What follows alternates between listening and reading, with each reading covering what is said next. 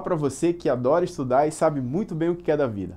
Eu sou o professor Aires e vou te conduzir nessa aula de física. Nas aulas passadas, nós falamos sobre movimento, falamos sobre quantidade de movimento, falamos sobre velocidade, aceleração, impulso.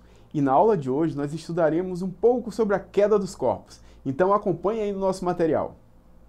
Então, a aula de hoje nós falaremos sobre queda dos corpos, certo? E eu tenho uma situação problema para você analisar. Então, imagine que você e um, e um amigo estão no alto de um prédio de 10 andares. Você com a esfera de metal de 2 kg e o seu amigo com a esfera de plástico de 1 kg. Ambas têm o mesmo tamanho. Daí, seu amigo lhe propõe um desafio. Quer saber qual esfera, se a dele ou a sua, chegará primeiro à calçada, lá embaixo? Considerando que você e seu amigo ab abandonaram as esferas ao mesmo tempo, qual chegará primeiro ao solo? A sua ou a de seu amigo ou as duas ao mesmo tempo? E por quê? Então, no decorrer da nossa aula de hoje, você vai saber qual esfera chega primeiro, ou se as duas, ou se uma só, ou a mais pesada, ou a que tem maior massa. Então, você vai saber disso ao longo dessa aula. Tá bom? Inicialmente, a gente precisa entender qual era a ideia de antigamente sobre a queda dos corpos. Tá? Então, vamos lá para trás entender um pouquinho sobre Aristóteles, certo? Para Aristóteles, ele tinha duas situações para o movimento. Uma deles era de causa natural e outra era de causa violenta, certo? Com relação às causas naturais, por que, que os corpos caíam, por que, que as coisas se moviam, ele pensava o seguinte: que era da natureza do objeto. Então, se o objeto estava se movimentando, era porque era da natureza dele. E essa, esse movimento estava atrelado aos quatro elementos: terra, água, ar e fogo. Certo? E os corpos caíam porque era natural que isso acontecesse. E ele também pensava que o mais pesado caía primeiro. Certo? Uh, com relação ao movimento violento, era, ele era induzido, né? era um movimento imposto ao objeto tá? Como puxar ou empurrar, que hoje nós conhecemos como força, né? E também era causa, uma causa extrema com relação a esse movimento. Então observem que para Aristóteles ele tinha duas configurações interessantes: natural e violento para a ação do movimento. Na cabeça de Aristóteles, o estado natural de um corpo é o repouso. Se ele se movimenta, é porque alguma coisa aconteceu aí. Ou é causa, causa natural, ou era um efeito violento sobre esse corpo. Certo? Então, bem, agora que você já sabe o que pensava Aristóteles sobre o movimento, então, se fosse perguntado a esse pensador grego sobre aquela situação que a gente viu lá atrás, certo? Qual objeto cairia primeiro, né, de um prédio de 10 andares, com a bola, a bola de 2 kg ou a bola de 1 kg? O que, que Aristóteles responderia? Se você respondeu que Aristóteles responderia que a bola de maior massa cairia primeiro, você está certo. Na cabeça de, de Aristóteles, a esfera mais pesada, que tinha maior massa, ela cairia antes da esfera que tem menor massa. Então Aristóteles acreditava que ao abandonar, ao, ao abandonar corpos leves e pesados em uma mesma altura, seus tempos de queda seriam diferentes. O corpo mais pesado alcançaria o solo antes dos mais leves certo? Então, lógico, olha, o nosso astronautinho está dizendo que não é bem assim a situação, tá bom? Mas para isso, lá depois de uns dois mil anos, é, a gente entendeu, hoje a gente entende melhor como é que funciona, mas Galileu Galilei, lá em 1500, ele conseguiu entender isso da melhor forma. Então, nós vamos ver mais à frente. A crença nessa afirmação perdurou durante quase dois mil anos. Isso ocorreu em virtude da nossa intuição, é intuitivo a gente achar isso. Isso para a nossa intuição é, é, faz pensar que é natural que o corpo mais pesado ou de maior massa chegue é, no solo primeiro do que o, o, de menor massa, tá? Então vamos ver o que, que pensava Galileu Galilei com relação a isso. O pensamento de Galileu era diferente do pensamento de Aristóteles, certo? Inclusive, Galileu é considerado o pai da ciência experimental. Ele é o responsável por ter começado a produzir experimentos para poder entender os fenômenos da natureza. Então, esse método exper experimental era inovador, tá? Porque ele serviu para abandonar a pesquisa de um modo diferente, né? Você observava a pesquisa de um modo diferente, levando a, a, a conclusões mais palpáveis porque você fazia a experimentação daquilo. Então era bem legal, certo? Já Aristóteles considerava que os experimentos não serviam para ajudar em nada, diferente do pensamento de Galileu, certo? Então, olha só, a história conta, inclusive, que Galileu Galilei, certo? Ele, ele na, subiu até a Torre de Pisa, o alto da Torre de Pisa, para demonstrar experimentalmente sua afirmativa de que os corpos cairiam ao mesmo tempo quando abandonados a uma certa altura, né? independente da sua massa, certo? Então, assim, estudando a queda dos corpos através de sofisticadas técnicas experimentais e de medição, Galileu chegou à seguinte conclusão: abandonados de uma mesma altura, um corpo leve e um corpo pesado caem simultaneamente, atingindo o chão no mesmo instante. Você pode fazer esse experimento em casa. Imagina que você tenha uma bola, é, uma bola de papel, pegue o papel e amasse, certo? E você pega o papel e deixe ele uh, aberto. Solte os dois, você vai verificar que quem cai primeiro. E no segundo experimento você faz o seguinte, você pega a bola de, de papel e o outro papel e amassa os dois juntos, formando duas bolinhas de papel. Então vocês vão soltar essas duas, essas duas bolinhas e vocês vão verificar quais, qual vai cair ao mesmo tempo no solo. Isso é um experimento para vocês fazerem em casa e é bem interessante. Então, o que o Galileu estava estudando, na verdade, é o que nós conhecemos na física como queda livre, tá? Então, é, observe que o ar influencia nos corpos. Então, se eu soltar uma pedra e uma pena, com certeza a pedra vai chegar primeiro ao solo, porque a pena sofre influência do ar. Então, a, o ar influencia mais na pena, fazendo com que os dois não cheguem ao mesmo tempo. Mas se eu pegar essa pedrinha e essa pena e colocar em um tubo, com, tirando o ar completamente desse tubo, Galileu fez esse experimento, vocês vão observar que os dois chegam, ao, caem ao mesmo tempo se você girar o frasco. Né? Galileu fez isso, ele pegou um tubo de, de, de vidro e nesse tubo ele colocou uma pedra e colocou uma pena. E ele, ao girar o tubo para cima e para baixo, ele verificava que o tubo sem o ar, a pedra e a pena caíam ao mesmo tempo. Certo? Isso porque não havia influência do ar sobre a pena. Para a gente determinar a queda dos corpos, a gente tem que lembrar das equações da velocidade, certo?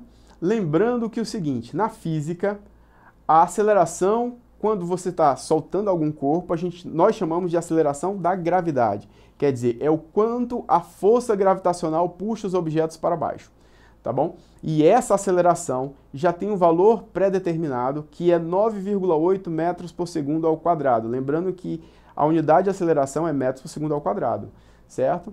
É, nos exercícios é muito comum utilizar esse 9,8 arredondado para 10, para facilitar os cálculos, tá bom?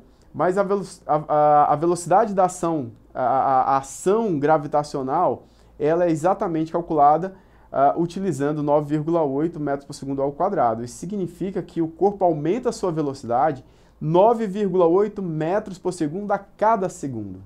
Certo? Vamos ver melhor essas equações aqui.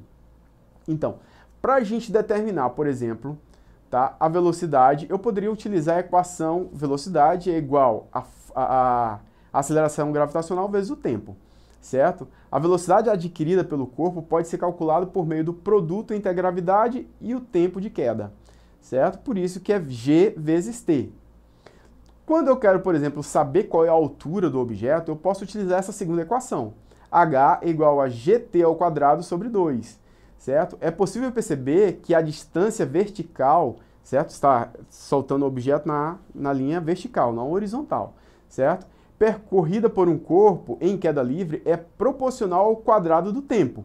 Isso indica que a cada instante o corpo estará caindo em um espaço maior e seu movimento é acelerado. Tá? Lembrando que também temos uma, uma, terceira equação, que é v ao quadrado é igual a 2gh, e essa equação ela é derivada da equação de Torricelli.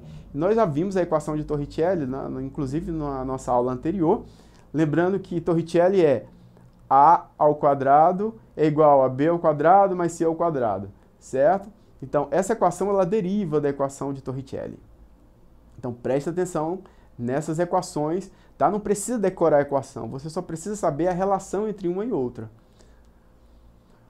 uma coisa importante de a gente aprender em física é saber diferenciar o que, que é peso e o que é massa. Em física, peso e massa são coisas diferentes, tá bom?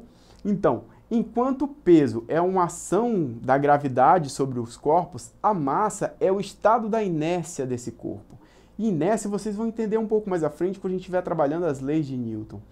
Tá? Quanto maior a massa do objeto, maior será a inércia sobre ele. Então, para a gente determinar o peso, a gente pega a massa e multiplica pela gravidade, tá bom? Então, olha só, vamos a um exemplo resolvido aí. Uma esfera de 100 kg é abandonada de alto de um prédio de 20 metros de altura e cai em direção ao solo. O problema está pedindo para a gente determinar o tempo assim que o objeto cai ao chão, levando em consideração que a ação da gravidade, né, o G, é igual a 10 metros por segundo ao quadrado. Para a gente resolver esse problema, a gente pode aplicar a equação da altura, que a altura é h, certo? Então a equação h é igual a gt ao quadrado sobre 2.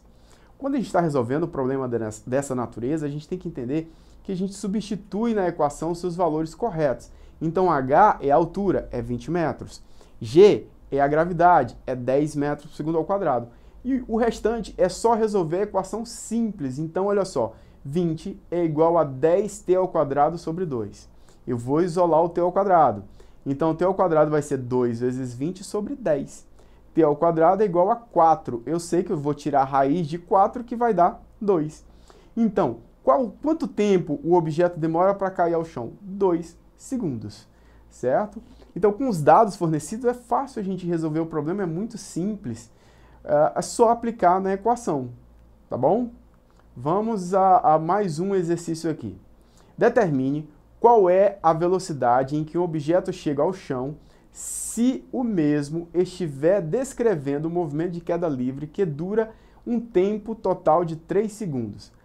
Considere g igual a 10 metros por segundo ao quadrado e expresse sua resposta em quilômetros por hora. Então o problema está querendo saber qual é a velocidade de queda desse corpo assim quando ele chega ao chão. Aí é mais simples, inclusive, a equação.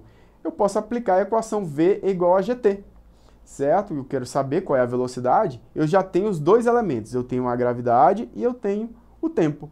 A gravidade, o problema está dizendo que é 10. E o tempo, o, o problema está dizendo que é 3. Então, a velocidade vai ser igual a 10 vezes 3. Então, eu tenho uma velocidade de 30 metros por segundo. Só que observe que o problema está pedindo em quilômetros por hora. Então, nós vamos lembrar das nossas aulas anteriores como é que a gente faz para transformar metros por segundo para quilômetros por hora. Nesse caso, a gente só precisa multiplicar pelo fator 3,6. Então, 30 vezes 3,6 dá 108 quilômetros por hora, porque o problema pediu em quilômetros por hora, certo? Então, vamos lá. Olha só essa questão que é bem interessante. O martelo de 2 kg é solto na superfície da Terra e posteriormente solto na Lua, à mesma altura. Em relação ao movimento de queda, nas duas situações descritas, assinale a alternativa correta. Então vamos assinar apenas a alternativa correta, quer dizer que todas as outras estão erradas. Então vamos analisar cada uma delas. O peso do martelo é igual na Lua e na Terra. Será que essa afirmação está correta? Não, né? A gente sabe que o peso na Lua e na Terra são diferentes. Inclusive na Lua, tá? a ação da gravidade é 1,6 metros por segundo ao quadrado. Na Terra, ela é 9,8 metros por segundo ao quadrado. Então, logo, o peso na Lua e na Terra não podem ser iguais, porque as suas gravidades também não são iguais. Letra B. Na Lua, o martelo ficaria parado no ar, pois não há gravidade. Isso, essa afirmação também está errada, porque na Lua há uma gravidade. Apesar de ser um sexto da gravidade da Terra, a Lua ainda tem gravidade. É 1,6 metros por segundo ao quadrado. Então, o, o, ele não ficaria parado no, no ar, ele iria cair, certo? Esse martelo iria cair. Letra C. Então, A e B estão erradas. Letra C. O tempo de queda é igual nos dois casos. A gente sabe que não, porque a ação gravitacional é diferente nos dois corpos. Letra D. O peso do martelo é maior na Lua. Por que, que o peso do martelo seria maior na Lua se na Lua a gravidade é menor? Então não tem sentido a letra D, certo? Letra E. O tempo de queda do martelo é maior na Lua, pois lá a gravidade é menor que na Terra. Então, essa é a única alternativa correta, porque é a única que explica a situação desse martelo de 2 kg quando é solto sobre a superfície da Terra ou na Lua. Você pode acessar a nossa plataforma, a plataforma Eduque, e lá você vai, vai encontrar um conjunto de atividades com exercícios para que você possa praticar um pouco mais. Então acesse a nossa plataforma, tá bom? E entre em contato conosco. Até a próxima!